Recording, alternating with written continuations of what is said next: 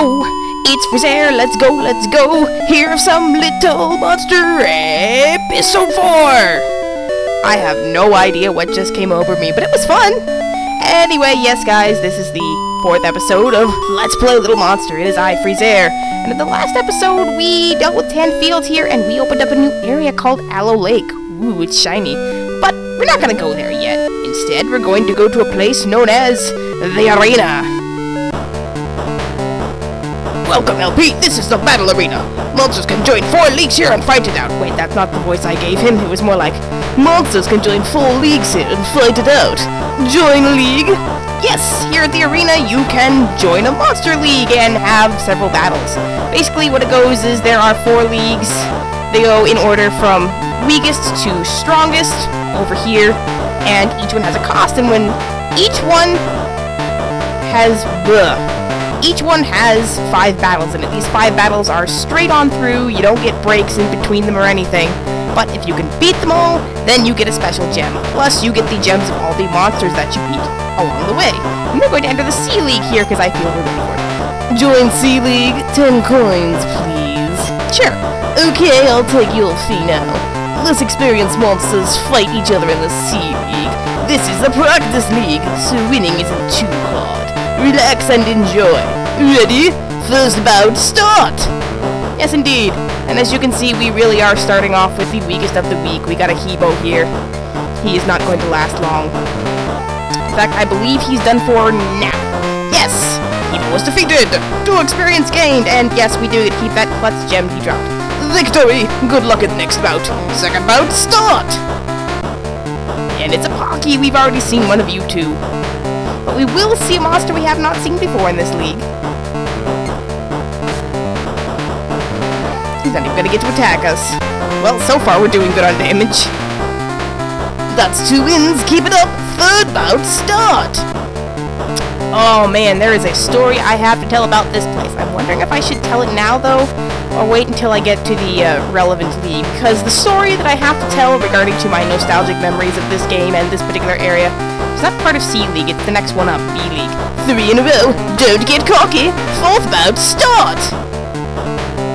Yeah, the monster we have not yet seen actually comes at the end of this league.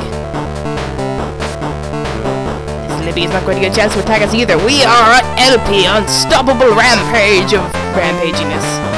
Now for the final fight. Last one, do your best. Final bout, start! Yes, it is Makmiki. This is the monster that you actually get if you put a needle gem in the can. I always remember this monster fondly because it's actually one of the ones on the American box art. I don't know about the Japanese box art, never seen it, but it's pretty cute. I like it. Makmiki! I don't know if it's actually pronounced Makmiki because it's kind of slurred together like Makmiki. Makmiki is the closest I can figure out, and hey, we got a level up at Time Dwell. You've completed C League! Next, try a Hard League! Your prize is a Headbutt Gem! Got the Headbutt Gem! Yes, Headbutt Gem is a stronger type attack gem. And it is a lot like High Kick. And ooh, look at that, our love is almost maxed out, so we might actually want to go to the salon soon. But for now, I will stick that in my deck. Somewhere here. In place one of the kicks. Because even though Headbutt can be used to make a monster, but the monster you get from setting Headbutt is a little difficult, so I don't know if I'll fight that one yet. So now that I've shown you that, how about we head on to Aloe Lake? Yay! As you can see, Aloe Lake is a nice little lake. It's got stars floating isn't it. Isn't it cute? Aloe Lake is kind of an interesting area because this is the first area in the game where you really start to see puzzles. Well, puzzles, I say with air quotes. They're really more like adventure game moon logic, rub items against other items and get things to happen. For example, use an empty can here. What is this? We get some water from the lake. In fact, that's what it's called. It's called water. Water doesn't do too much right now, but we'll be able to use it for something in the future. If you use the get item to search the area, you can also sometimes find a unique item here, which I was lucky enough to find. I didn't plan that. You found an aloe leaf. Hurrah! Aloe leaf is a healing item. Wow, when we leveled up, our HP went up far. I didn't realize that. We went from 129 to like 141. But yes, aloe leaf. Healing item. It heals 1 HP. Woo. Very dramatic, right? That is where you are wrong, because as you can see, it also helps you lose weight.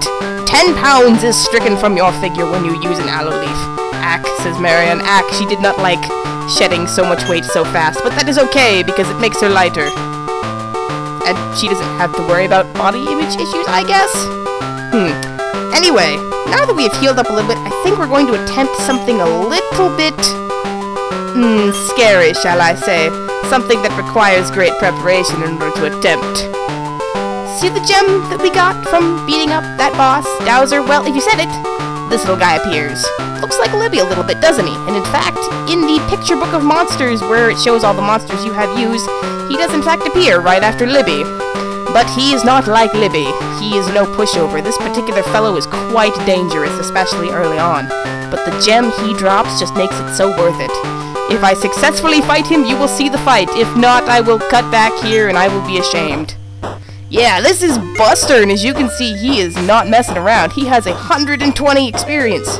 Ooh, and look at his gems. Those are lots of scary things. 120 experience, more like 180 HP. Thank you very much. Oh boy. He just hit with a hammer, and we are almost dead just from that. Luckily, nothing else he has so far can damage us, so we're safe for now. All he has is a gem wave.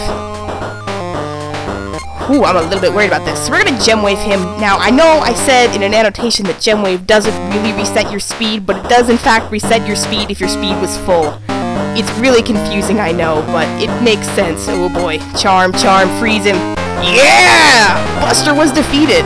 Now, as you can see, Buster drops a square gem. And Buster's gem looks like an angry face, but there's a times two on it. Ooh, that's dramatic. Wonder what it could be times two of. Times two damage, perhaps? Yes, in fact, Buster drops the Min Hand gem, which if you put it in your deck and it appears in your hand will double the damage that you do. It is a very good gem, and you definitely want one in your deck. I'm also going to show you the monster that you get from setting it, but first of all, I'm going to purchase some things at the good shop and heal myself. Actually, while I'm here, I will pick up a battery, because we are going to need that very shortly. And the beef can, I can afford the extra tonnage, but I could not afford that very well because now I have two coins. Don't worry, we'll get him back. Let's move on to the next area of Aloe Lake, shall we? Ooh, what is this we see here? Looks like a little house. You think you can interact with the little house? Well, of course you can, but we're not going to do that right yet. First of all, I am going to show off the fact that I now have 100 love. I'm going to show off the monster that you get from setting Minhand. It is cute little guy with weird tentacle things in his head. His name is Popper. Do you suppose he plays the format of Magic where you only use common and uncommon cards? I don't know. But he is nowhere near as strong as the gem that you have to set to get him. Or the monster that you have to fight to get the gem to set to get him. He did, however, stun us. Yeah, we're okay. Especially with all of these parallelization gems high kick and we're done. Hopper was defeated. As you can see, he drops a square gem too and has a little club on it. This is in fact the club change gem. If this club change gem appears in your hand, it will in fact change your suit to club. I haven't really talked about this, but all of these suits do in fact have an order of strength against one another. Spades, like Marion, are good on hearts. Hearts are good on clubs. Clubs are good on diamonds, and diamonds are good on spades. I never really use those gems much because usually, I mean, it depends on which monster you want to use. But I will put Minhand in, and I'll put it in over another one of these kicks. Now my deck list is starting to be a little less organized. You have a bunch of, like, you know, four in a row, looks all tidy, and then you get down here and it's all this mess. To show you the last area of Aloe Lake before we go on to the final one. And see, it's a nice little view of the lake where you can see all the cute little stars in it. And I will show off one more monster before we go on further. Hmm.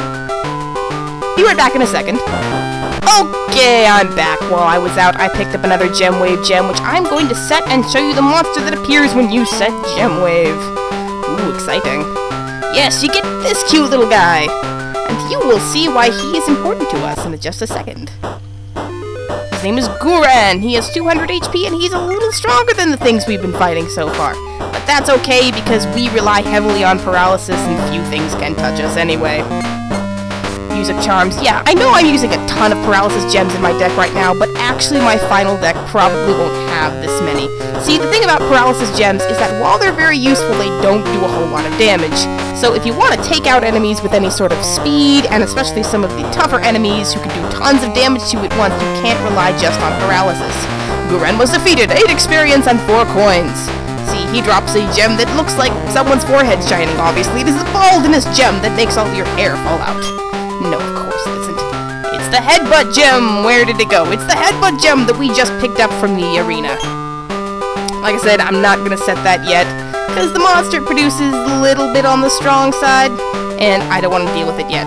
So instead, we're going to go back to the second area of Aloe Lake. Mm, while I'm here, first I think I will pick up a bit more water, because I have another empty can. Yay! Any more aloe here? There is nothing to be found. Now, you may be wondering, you know, who lives in this little house and how can we interact with them? And what you have to do is you actually have to use a battery.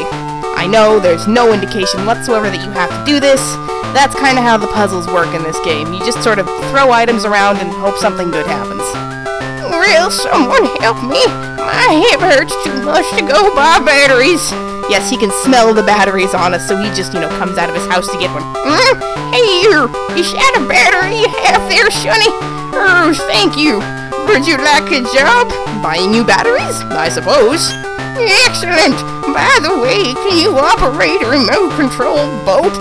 That doesn't sound like buying batteries at all. I thought we were buying your groceries for you because you have hip problems. Uh, sure. Great, you have a head start then. The boat is over there. Good luck! And with that, we are unceremoniously thrust into a minigame. The way you play this is you basically have to catch fish. When you hold down the A button, your ship moves forward. And the more you hold it up, then the higher your net goes. But if you let go of the A button, your ship stops and your net starts to sink. And as you might want, might imagine, you have to catch a lot of fish.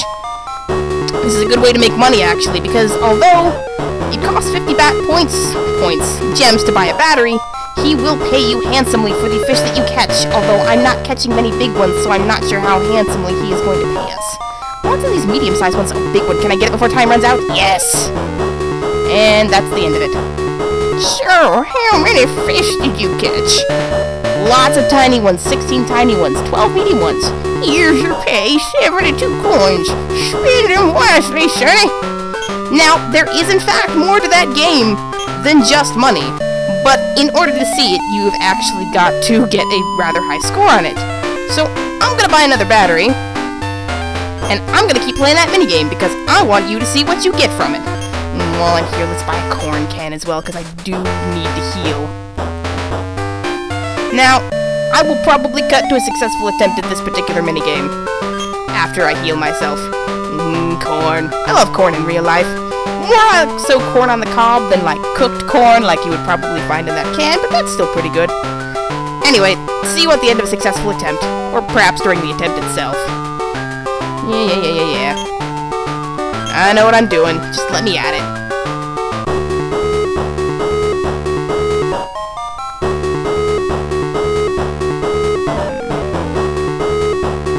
Oh, I'm never gonna get that big one at the bottom there. If this happens to be the successful attempt, you really can't get those big fish on the bottom. They swim way too fast. There's no good way to really go for them. Although, seriously, it like juked around the net, man. Juked.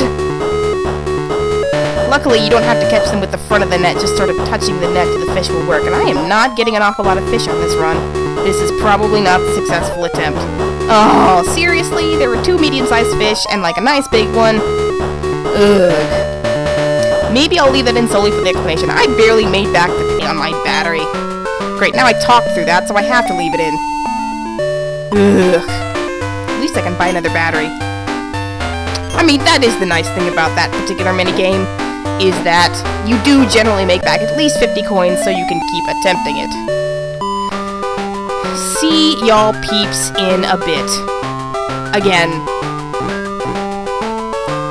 Of course, I have to keep talking, because, you know, I'm gonna show the successful attempt. Or am I going to, or am I just gonna show the results screen? Ah, now I've talked through this one, so I have to show this one too. Ridiculous. I gotta just keep my mouth shut over these things, man. But it's hard. Like, when I play games in real life, I don't talk a whole lot, my thought processors are usually going really fast, so I have things that I would be saying about them if I was saying things, sort of saying them in my head to myself, or to my imaginary friends if you so choose to think that way. So I mean, like in real life, if I am talking, you just let my mouth run, lots of stuff comes out of it, blah blah blah blue. Oh, really? Ran out of time just as we were. Ugh. Fail run is fail. Oh, we could have gotten 64 at least. I like the number 64. It makes me think of the Nintendo 64, and that makes me happy.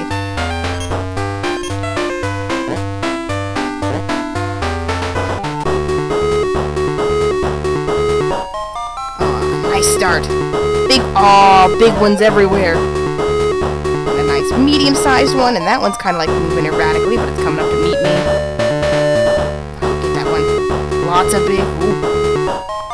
Biggies, biggies everywhere. Catch him. Oh, ho, ho. This is a beautiful run. I usually never have luck like this. Come on, come on, come on. Can I at least get those little ones at the bottom there? Scoop them up, scoop them up, scoop them up, Dan! How many fish did you catch? Not a lot of tinies, but I feel this is a good one. Yeah, 92 coins! Spend them wisely. Excellent catch! Here is your bonus! You got a gem chip! Yay! What is a gem chip, you ask? Well, it's actually a plot chip. In this game, you need to collect the five gem chips that are scattered across the lens. The lens. Yes, they are scattered across the lens. No, the land in order to do something. You will see what that something is later, but as you might have guessed from the fact that, you know, earlier Hot Joe was talking about, oh, there is a gem somewhere that can store star energy. You might guess that this so-called star gem is probably among them. I'm slightly healed up, so I think I'm gonna take my chances with the monster that it comes out of. Hmm, club change? Do I want to fight? Yeah, let's fight this one. He's blue, he fits the lakey theme. Now, there's something actually about Aloe Lake that makes it one of my favorite areas in the game, and that's not just that it's cool looking, but it's battle music. With the other monsters I fought, I didn't really talk about this, but I'm gonna just shut up for the first couple of moments of this battle with this monster, whose name is Image, and just let you listen to it, because it is super cool.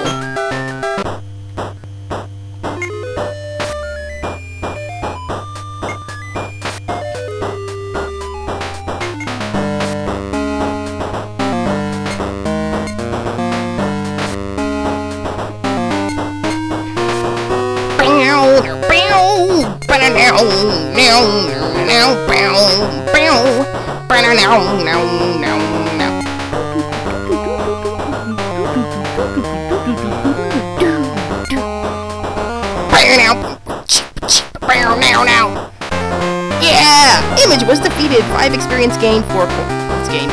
Not a very strong monster that Image is, and the gem he drops is another one of those particular, you know, suit gems. This is uh, Diamond Block, as you might guess. It does, you know, lots of dam- not does lots of damage, it reduces lots of damage if you when you are attacked by Diamond-type monsters. The nice thing about these square gems of the, you know, club phrase is that they're usually pretty, you know, obvious in what they do.